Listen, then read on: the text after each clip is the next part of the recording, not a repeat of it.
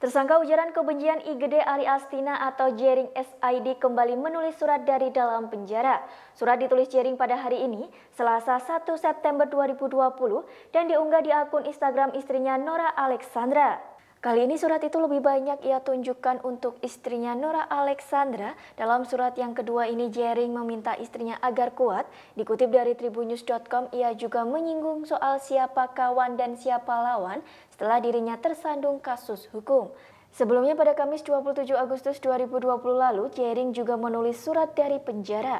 Surat tersebut ditulis setelah kasusnya dilimpahkan ke kejaksaan. Dalam surat yang dibacakan sendiri ada tiga poin yang menjadi penegasan Jering. Di antaranya, ia meminta Ikatan Dokter Indonesia atau Kementerian Kesehatan melakukan penelitian terhadap dirinya. Pasalnya, hasil swab tes Jering dinyatakan negatif meski ia mengaku melakukan kontak dengan ratusan orang.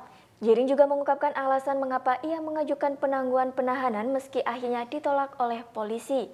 Diketahui setelah berkas perkara dinyatakan lengkap atau P21 oleh tim jaksa Jering menjalani proses pelimpahan tahap 2 pada Kamis 27 Agustus 2020.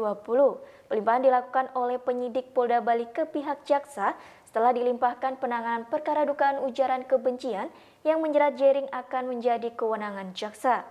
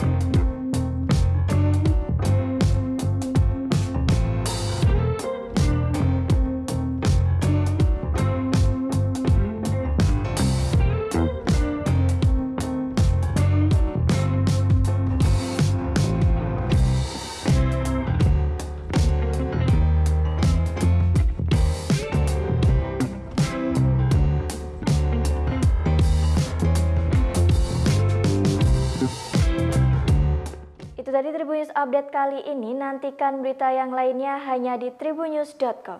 Terima kasih sudah nonton. Jangan lupa like, subscribe, dan share ya.